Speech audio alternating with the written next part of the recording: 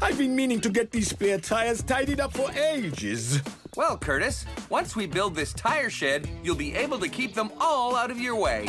Fantastic. Whoa! Look out, Bob! I've got it! Phew! Thanks, Bob. That one almost got away. Good morning, all. Where are we going today, Bob?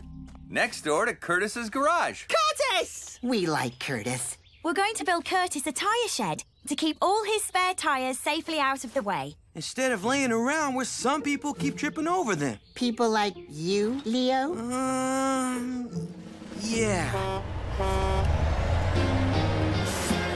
Two-ton?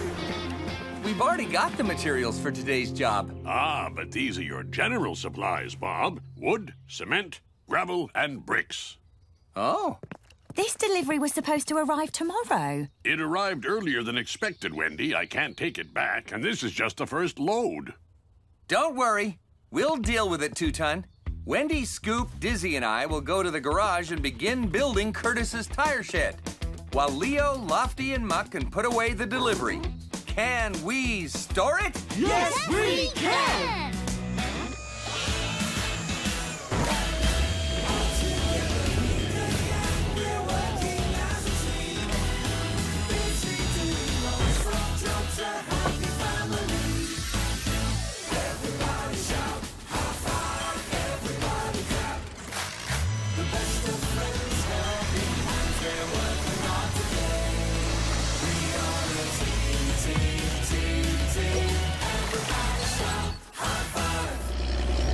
Lots of lovely, fresh, crunchy gravel for me to shovel. wow, Pilchard!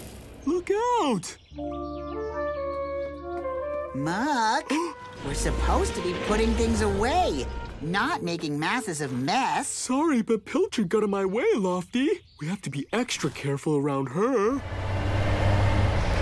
Here's the second load of supplies, Leo. Okay, Two-Ton. I remember delivering supplies in the Sahara Desert once. It was so hot, it almost melted my... Pilchard!